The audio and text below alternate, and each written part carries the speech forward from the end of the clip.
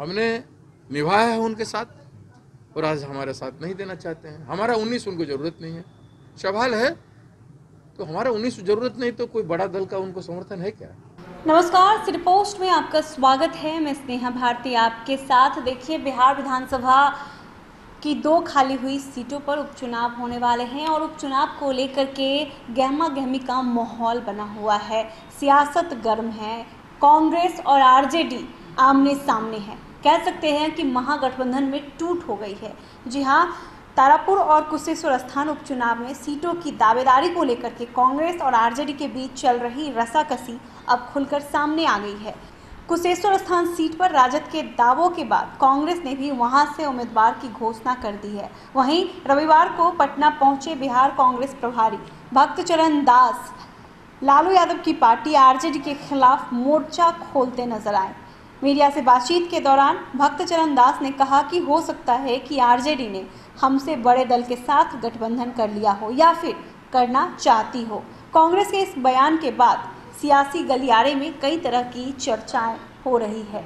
रविवार को पटना पहुँचे बिहार कांग्रेस के प्रभारी भक्त चरण दास ने कांग्रेस नेताओं के साथ मीटिंग के बाद मीडिया से बातचीत की। इस दौरान आरजेडी पर बड़ा आरोप लगाया। उन्होंने कहा कि आरजेडी ने गठबंधन धर्म को तोड़ा है। हो सकता है राजद का किसी और बड़े दल के साथ गठबंधन हो गया हो या फिर होने वाला है।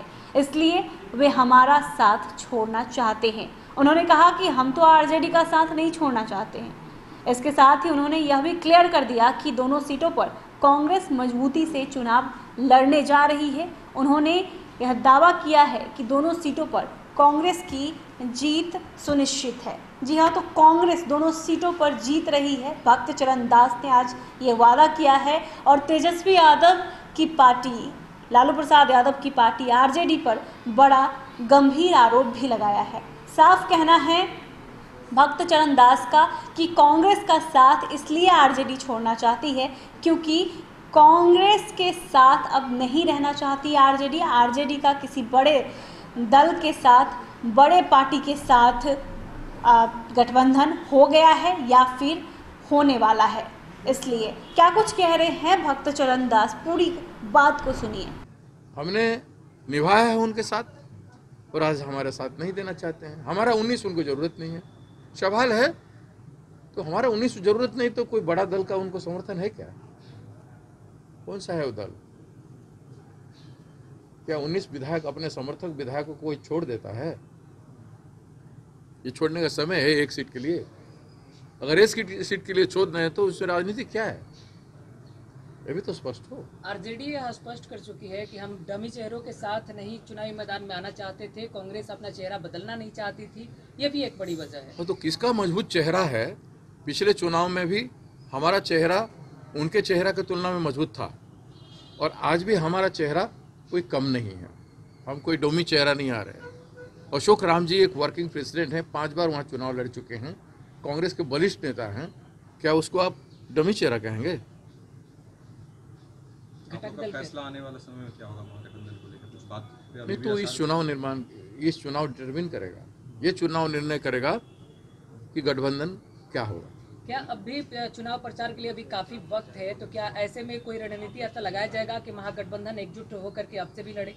महागठबंधन के घटक को बाकी घटक को सोचना चाहिए कि हमारे प्रति अन्याय हुआ है। जो विचारधारा पे हम लोग एक हुए थे कि हम सब तो सुन लिया आपने भक्त चरण दास किस तरह से आरजेडी के खिलाफ बातें कहते नज़र आए।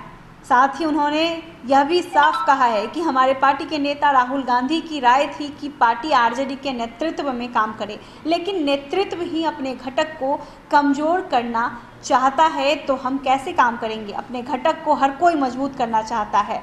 भक्त चरण दास ने कहा कि हमारा मकसद उनको कमज़ोर करने का नहीं, यानी कि राजद को कमज़ोर करने का नहीं, लेकिन हो सकता है आरजेडी हमें कमज़ोर करना चाहती हो। जी हाँ तो भक्त चरण दास के तेवर आज काफ़ी गर्म नज़र आए और भक्त चरण दास आज आरजेडी के खिलाफ ही पूरी बातें बोलते नज़र आए। कह सकते हैं कि खिलाफ हो गए हैं भक्त चरण दास खिलाफ हो गई है कांग्रेस आरजेडी के।